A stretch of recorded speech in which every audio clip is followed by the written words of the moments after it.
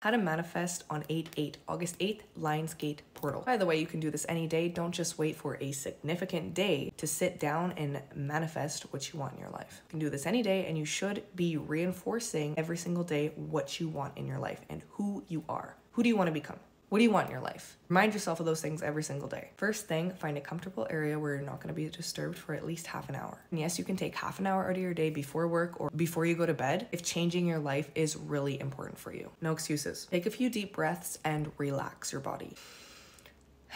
let all that bullshit from today go. Only thing that is real is this present moment now. So don't think about the past. Don't think about your projected future. You could even put on some calming instrumental music or something to get you in a more relaxed mood. You could even go do a meditative walk, which is what I do, and we'll talk about that in a different video. So you're gonna start feeling good with this calming music that you like and you're not thinking about any of the stresses. Start thinking to yourself, what would it be like if I had everything I wanted? I have all the money, I don't have to worry about money. Everything is taken care of. Now, what would I do with my life? You're gonna think from the end point of already having everything that you want. Where would you be? What would you be doing? Where would you live? What would your career be? Your career would be basically something you're passionate about and doesn't involve money because money is already taken care of. So you'd only be doing things that you absolutely love. Who is your partner? What does your partner do? What kind of things are you doing on a day to day basis? Do you make money or did you win money through the lottery? Like, how did you get your money? You can start creating a storyline for yourself. Basically, create a story for you as if you are the main character.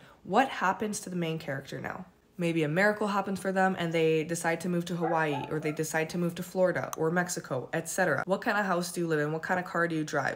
What kind of people are your friends? What are your hobbies and interests? Get specific and do this every single day. Hold on to that visual of the new you because now that you've told the universe your end goal, everything in this world is going to work to get you to that end goal now. And you will notice that you subconsciously start having new actions. Maybe you feel drawn toward a new business venture or out of the blue, you just completely start acting differently. You start going to the gym, you start working out. All of a sudden, you're confident and you start making friends easily. You're in the right place at the right time. This is how a reality shift works. Do this daily and you will notice results very fast. Commit to yourself. Like and follow for more. If you need more help, you can book a one on one with me. Mwah.